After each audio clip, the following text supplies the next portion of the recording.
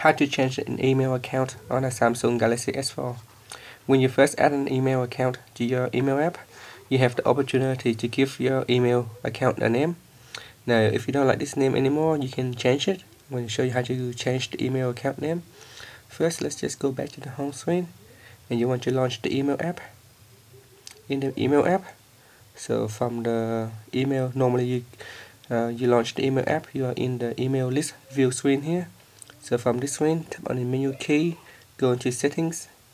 When you're in settings tap on the email account you would like to make the changes. Then here you want to scroll all the way down to the bottom and tap on the more settings. In more settings tap on the account name. And here you will have the opportunity to give your email account a new name. So I'm just give this for example just David. And then tap on OK so now you can see my email account name has been changed. Thanks for watching this video. Please subscribe to my channel for more video tutorials.